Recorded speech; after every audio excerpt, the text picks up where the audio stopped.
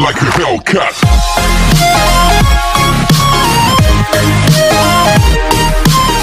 Hello guys, welcome back to the channel Kineto Klub and today's topic is IoT, Internet of Things.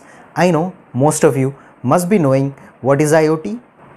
It is simply an internet connected devices that has an ability to transfer or process the data without any human intervention.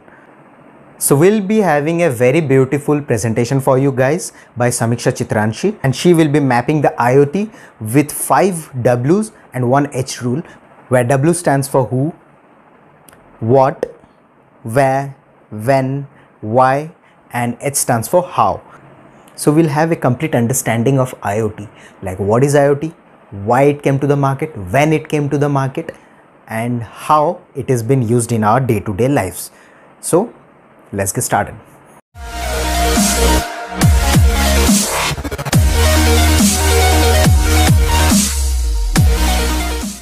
Hello folks, welcome back to our channel. I am Samiksha and today we will be learning about the technology via the famous questioning method or 5W1H method. So let's directly dive into the technology. Begin with the first W or who. So for today it is Internet of Things or IoT. Next up we have what it is basically. It's the interconnection of various devices, machines, appliances to generate data. Next W is when. When did it all start?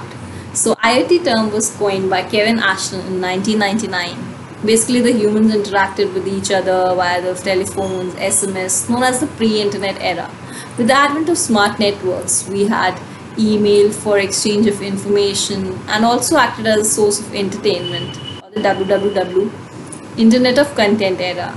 Next with the advent of smart it platforms and services we had web 2.0 with e-commerce websites such as amazon flipkart known as the internet of services era. With advent of smartphones and applications we could interact with our friends through skype facebook youtube videos are there social media known as the internet of people era Next, with the advent of smart devices, smart TV, and data coming into the picture, we have machines interacting with machines, which could be used for identification, tracking, monitoring, and automating tasks as well, known as the Internet of Things era. Even when they are not Next physically why- present, why devices need to communicate learn with each other to data at the first place. So Data people packets can are access transformed information over internet, hence saving time and cost as well.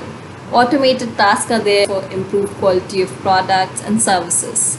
Next is how. How do they even do that? So in our case, if we take a jar, IoT jar, which has sensors inbuilt which measures the temperature and water levels as well.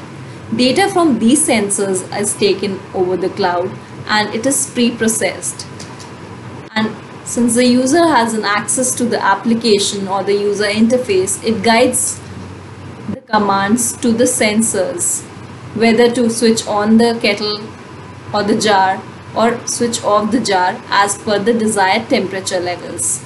Next is where. Where is the iot found such as smart city smart retail and smart homes? In this case we can see on clicking on the front door the light switched on for the front door. Next example we have for the wearables which we have if I need to check on what all tasks I need to perform today. So I'll speak to the smart wearable and find that I need to clean the house, buy milk, have lunch with Veronica. So today we learned about IoT and its summary in a single view. Thanks for watching. Stay tuned for learning new concepts in and out.